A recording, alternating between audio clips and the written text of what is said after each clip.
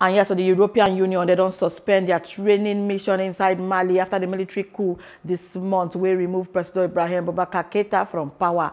The two missions and training Mali Army and uh, Olokpa as part of international effort to take stabilize Mali and still extend the state authority, they don't freeze and sake of them they designed to support officials. Now, in this one said they suspend the temporary.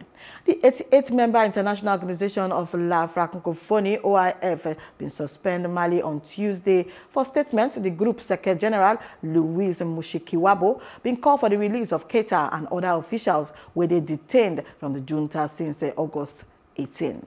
And West African mediators and Mali coup leaders then they discussed the possibility of one transitional government where it allow EU to last last resume training inside partnership with the United Nations.